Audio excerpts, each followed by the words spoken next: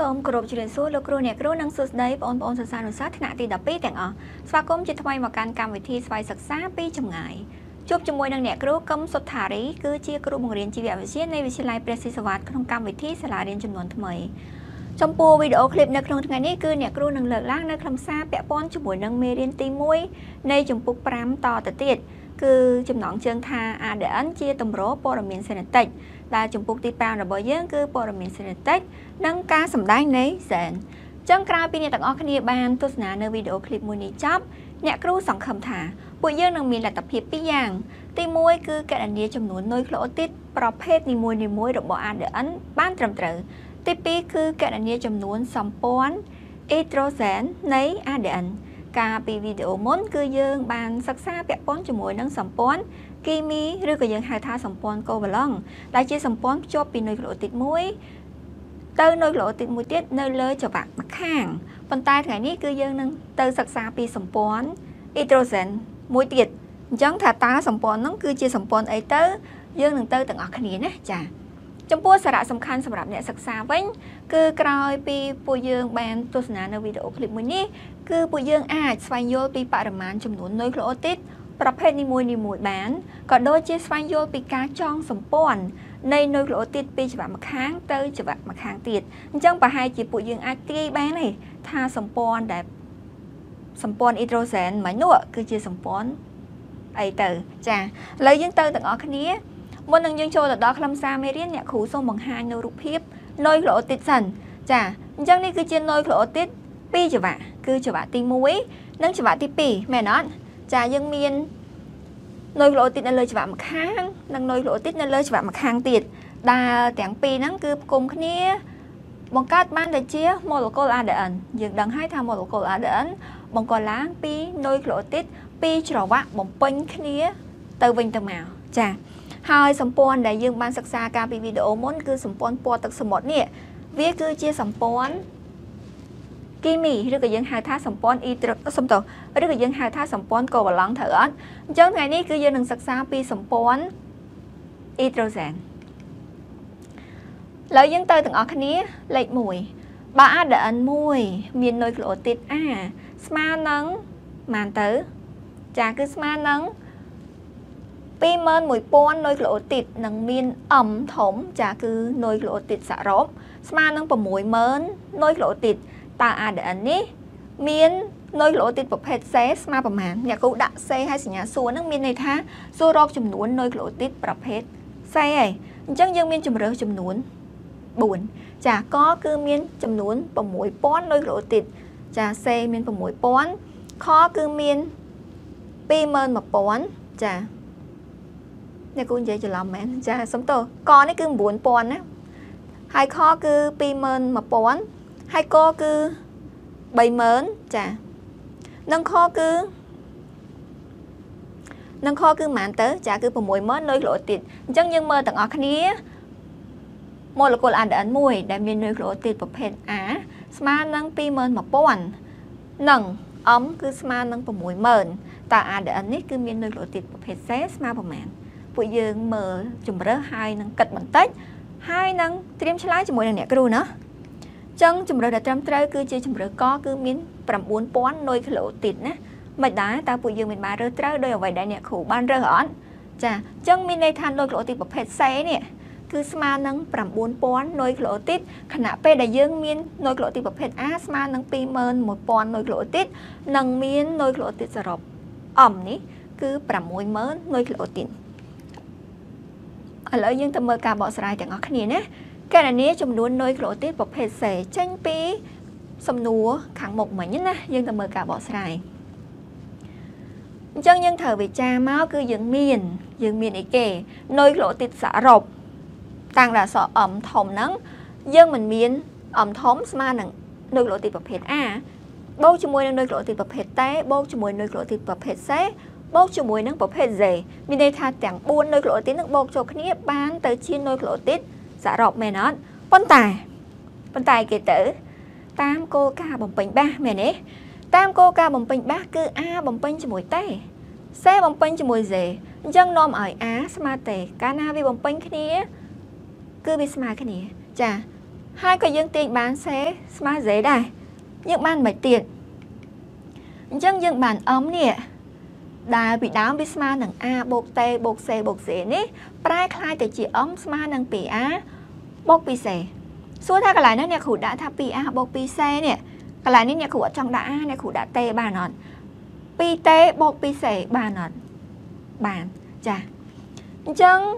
យើងទាញ2ជាកតាមកអមធំគឺស្មើនឹង2កតា a បូក c ដោយសារនេះក៏មាន2កន្លែង 2c នេះក៏មាន2អញ្ចឹងយើងទាញអមកតា a បូក c អ្នកគ្រូជឿថាពួកយើងតណាមែនទេអញ្ចឹងយើងទាញបានមួយទៀតចាយើងគ្រាន់តែលើកអង្គទី2មកអង្គទី1បោះអង្គទី1ទៅអង្គទី2ចាអញ្ចឹងអ្នកគ្រូបាន2កតា a បូក c ស្មើនឹងអមចាឬក៏អមស្មើនឹង2កតាបូក c ដូចគ្នាទេគ្រាន់តែអ្នកគ្រូលើកអាអង្គទី2នេះមកអង្គទី1អញ្ចឹងយើងបាន2កតា a បូក c ស្មើនឹងអមបន្ទាប់មកទៀតយើងទាញមកទៀតយើងបាន a បូក c នេះ ចា a បូក c នេះយើងបោះ2ទៅអង្គទី2អញ្ចឹងយើងបោះឆ្លងសញ្ញាស្មើបដូរសញ្ញា2គុណទៅជាចែកអញ្ចឹងយើងបាន a បូក c ស្មើនឹងអមធំនេះចែកនឹង2ចាយើងតន់អត់បន្ទាប់មកអ្វីដែលយើងចង់រកគឺចង់រកសេនេះចាអញ្ចឹងកន្លែងខាងមុខ a នេះគឺសញ្ញាលេខបូកអត់មានសញ្ញាអីគឺមានន័យថាបូកត្រូវអត់ចាបូក1អញ្ចឹងយើងបាន សេនេះគឺស្មើនឹង m លើ2ដក a វិញចាបូក a បោះឆ្លងសញ្ញាស្មើទៅជាដក a យើងបានសរុបចុងក្រោយគឺសេស្មើនឹង m លើ2ដក a អ្វីដែលគេប្រាប់គឺ m គឺស្មើនឹង60000នៅគីឡូទីតអញ្ចឹងយើងយក60000ចែកនឹង2ដកជាមួយនឹង a a ស្មើប្រមាណទៅ ចាគឺ21000 60000 ចែកនឹង2បានប៉ុន្មានចាគឺបាន30000មែនអត់30000ដក21000នៅសល់ប៉ុន្មានចាគឺនៅសល់9 1000នុយគីឡូទីតអញ្ចឹងនេះគឺជា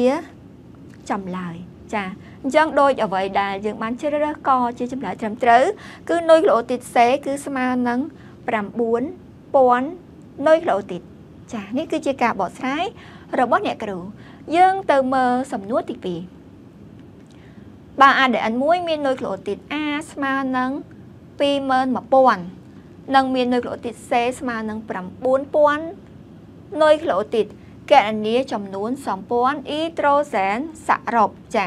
អញ្ចឹងសម្ព័ន្ធអ៊ីត្រូសែនគឺជាសម្ព័ន្ធមួយដែលភ្ជាប់ពីនុយក្លូទីតមួយទៅកាន់នុយក្លូទីតមួយទៀតឆ្លងច្រវាក់ចាបន្តិចទៀតនៅក្នុងការបកស្រាយអ្នកគ្រូនឹង បង្ហាញពួកយើងហើយចាគឺវាភ្ជាប់ពីនុយក្លូទីតនៃច្រវាក់ម្ខាងទៅកាន់នុយក្លូទីតនៃច្រវាក់ម្ខាងទៀតចាអញ្ចឹងយើងមាន ADN ហ្នឹងដែលមាននុយក្លូទីតប្រភេទ A ស្មើនឹង21000នុយក្លូទីតប្រភេទ C ស្មើនឹង9000គឺជាតម្លៃដូចទៅនឹងសំណួរលេខ1គ្រាន់តែរបៀបរកសំតគ្រាន់តែអ្វីដែលគេសួររកគឺខុសគ្នាអានេះគឺគេសួររកសម្ព័ន្ធអ៊ីត្រូសែនសរុបណាចាអញ្ចឹងយើងមានជំរើសក គឺ60000សម្ព័ន្ធខមាន69000សម្ព័ន្ធកមាន90000សម្ព័ន្ធនិងខគឺមានរាយ10 100ពាន់ម៉ឺនសែន1សែន20000សម្ព័ន្ធចាកន្លែងនេះអ្នកគ្រូរាប់សូនឲ្យកូនដើម្បីកូនស្រួលមើលណាចាអញ្ចឹងជំរើសត្រឹមត្រូវគឺជាជំរើសខគឺមាន69000សម្ព័ន្ធចា អញ្ចឹងយើងទៅមើលថាហេតុអីបានជាគេរកឃើញថាសម្ព័ន្ធអ៊ីត្រូសែនហ្នឹងស្មើនឹង69000សម្ព័ន្ធយើងទៅទាំងអស់គ្នាជាមួយនឹងការបកស្រាយចាអញ្ចឹងយើងឃើញថាកន្លែងនេះគឺយើងមាននុយក្លូទីតចំនួន2ច្រវាក់ឯមែនអត់នេះច្រវាក់ទី1និងច្រវាក់ទី2អញ្ចឹងនុយក្លូទីតពីច្រវាក់ទី1នេះពីច្រវាក់ម្ខាងនេះ ភ្ជាប់ទៅនឹងនុយក្លូទីតច្រវាក់ម្ខាងទៀតដោយសម្ព័ន្ធមួយដែលយើងហៅថាសម្ព័ន្ធអ៊ីត្រូសែនអញ្ចឹងសម្ព័ន្ធអ៊ីត្រូសែនគឺជាប្រភេទសម្ព័ន្ធខ្សោយទេចាអញ្ចឹងគឺលក្ខណៈដែលវាខ្សោយហ្នឹងគឺវាមានផលប្រយោជន៍របស់វា ចានៅក្នុងវីដេអូក្រោយអ្នកគ្រូនឹងបង្ហាញចាអញ្ចឹងយើងមើលថាសម្ព័ន្ធដែលភ្ជាប់ពីនុយក្លូទីតច្បាស់មកខាងទៅនុយក្លូទីតច្បាស់មកខាងហ្នឹងគឺយើងហៅថាសម្ព័ន្ធអ៊ីត្រូសែនហើយចាអញ្ចឹងយើងមើល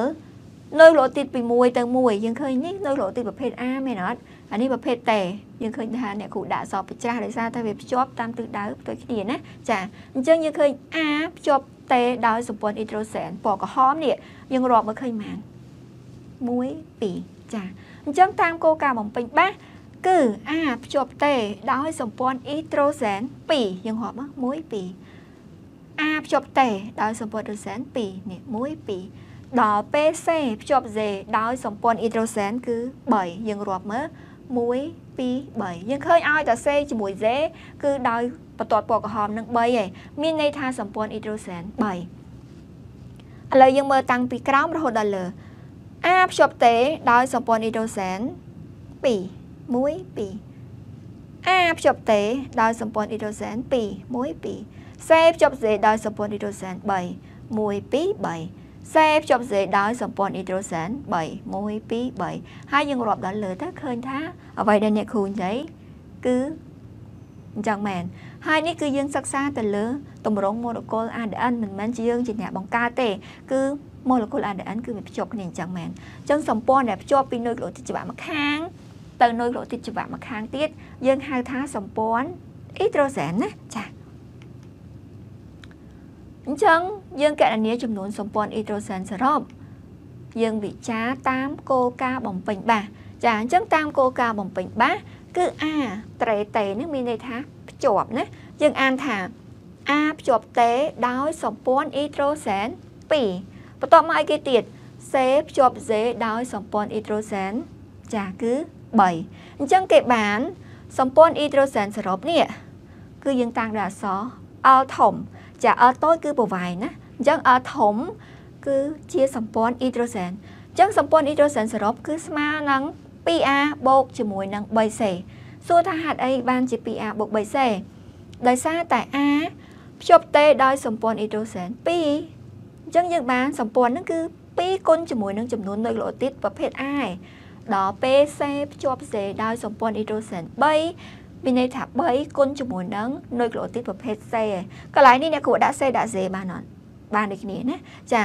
សម្ព័ន្ធអ៊ីដ្រូសែនសរុបតាំងដែលអក្សរ L ស្មើនឹង 2A បូកជាមួយនឹង 3C អ្នកគ្រូដាក់ថា 2T បូកជាមួយនឹង 3C បានអត់បានអ្នកគ្រូដាក់ថា 2A បូកជាមួយនឹង 3Z បានអត់បានអ្នកគ្រូដាក់ថា 2A បូកជាមួយនឹង 3T បានអត់ អត់ចាដាក់បានទេចាអញ្ចឹងគឺតតែ 2a បូក 3c ឬក៏ 2a បូកជាមួយនឹង 3c ឬក៏ 2t បូក 3c ឬក៏ 2t បូក 3c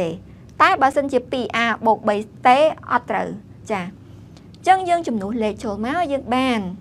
2គុណជាមួយនឹង a ដែលគេប្រាប់ហ៎គឺ21000បូកជាមួយនឹង3គុណជាមួយនឹង9000ចា ចឹងនៅពេលដែលវាមានវងកញ្ចក់បែបនេះគឺយើងកណនីក្នុងវងកញ្ចក់មកនេះចាអ្នកគ្រូដាក់ក្នុងវងកញ្ចក់នេះដើម្បីកុំឲ្យយើងច្រឡំគ្នាចាអញ្ចឹងយើងបាន21000គុណជាមួយ2បូកជាមួយនឹង3គុណជាមួយនឹង9000គឺយើងបាន69000សម្ព័ន្ធអញ្ចឹងសម្ព័ន្ធអ៊ីត្រូសែនຂະຫນាតវាគិតជាសម្ព័ន្ធនេះគឺជាចម្លើយណាចាមិនដែរតើអត់អត់ទេអ្នកគ្រូជឿថាពួកយើងតើណាចា អញ្ចឹងយើងចូលទៅដល់សំណួរទី3បើ ADN មួយមាននុយក្រូទីត A ស្មើនឹង20000នុយក្រូទីតនោះសម្ព័ន្ធអ៊ីត្រូសែនរវាង A និង T គឺ ចានេះគឺគេអត់សួររកសរុបទេ គេសួររករវាងតែ A និង T ទេ ចាអញ្ចឹងយើងបាន ចាយើងមានជំរើសចំនួន4ណាកគឺមានចំនួន 20000សម្ព័ន្ធខមាន30000សម្ព័ន្ធកមាន40000សម្ព័ន្ធនិងខគឺកំណត់មិនបាន ចាកំណត់មិនបានមានន័យថាកណនីរកអត់ចាញ់ទេអញ្ចឹងបើ ADN មួយមាននុយក្រូទីត A ស្មើនឹង20000នុយក្រូទីតនោះសម្ព័ន្ធអ៊ីត្រូសែនរវាង A និង T តើស្មើប្រមាណឬមួយក៏កំណត់មិនបានតោះឥឡូវទៅទៀងទាត់ចម្លើយជាមួយនឹងអ្នកគ្រូចម្លើយត្រូវគឺ40000សម្ព័ន្ធចា តើពួកយើងមានបានរើសត្រូវដោយអ្វីដែលអ្នកគ្រូរើសដែរឬទេប្រហែលជាត្រូវហ្នឹងមែនអត់